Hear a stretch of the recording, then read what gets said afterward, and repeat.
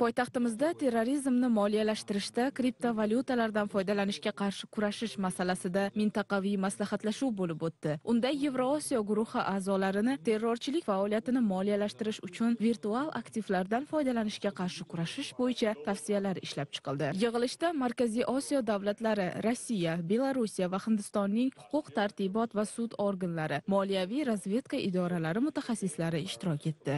Ma'lumot uchun terrorizm aholi o'rtasida vahima va tartibsizlik keltirib chiqarish maqsadida uyushtiriladigan zo'ravonlik harakati. Global terrorizm indeksining 2022 yilda taqdim etgan ma'lumotlariga ko'ra bir yilda dunyoda 3955 ta terakt sodir etilgan. Bundan tashqari so'nggi 10 yil ichida terrorchilik amaliyotlari natijasida shu e, terrorchilik harakatlari natijasida jahon iqtisodiyotiga 583 trillion aqsh dollari miqdorida zarar keltirilgan.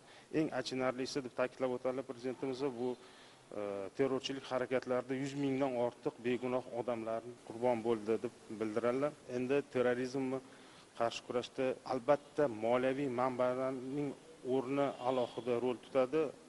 Agarda moliyaviy manbalarni e, ildiziga ildiziga turar ekanmiz terrorchilik harakatlarini o'z o'zidan kamayishiga sababchi bo'lgan bo'lamiz tadbirda qayd etilishicha naqd pul o'tkazmalari va havala to'lovlari terrorchilar tomonidan mablag'larni ko'chirishda qo'llaniladigan asosiy usullar. Shuningdek noqonuniy operatsiyalarni amalga oshirish uchun yangi vositalar ham ko'paygan. Xususan mobil to'lov tizimlari virtual aktivlar onlayn birja va elektron hamyonlar jinoyatda faol qo'llanila boshladi. Bunday vositalarning kirib kelishiga sabab esa davlatlar tomonidan kriptovalyutalarni kuzatish qiyinligi ularning anonimligi va pul oqimi yo'nalishini aniqlashning imkoni yo'qligi bilan bog'liq deya ta'kidlamoqda mutaxassislar. Yig'ilganlar terrorizmni moliyalashtirishga qarshi kurashish bo'yicha sa'y harakatlar samaradorligini oshirish uchun mamlakatlar moliyaviy razvedka sohasida faol axborot almashish davlat va xususiy sektor o'rtasidagi aloqani kuchaytirishi zarurligini ta'kidladilar.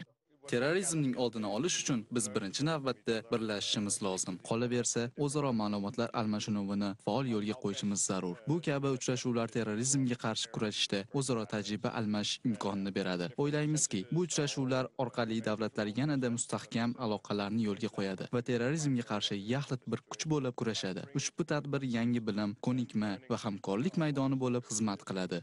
Tadbirda barcha a'zo davlatlarning terrorizmni moliyalashtirishga qarshi kurashish bo'yicha milliy majburiyatlari tegishli xalqaro hujjatlarda jumladan birlashgan millatlar tashkiloti xavfsizlik kengashining rezolyutsiyalari. Terrorizmni moliyalashtirish bo'yicha xalqaro konvensiya va moliyaviy harakatlar bo'yicha harakat guruhi tavsiyalarida belgilangani aytib o'tildi. Ushbu hujjatlar hukumatlarga moliyaviy oqimlar monitoringini yaxshilash terrorchilik aktivlarini muzlatish masalalarida dasturlamal bo'lib xizmat qilishi ham alohida keltirib o'tildi.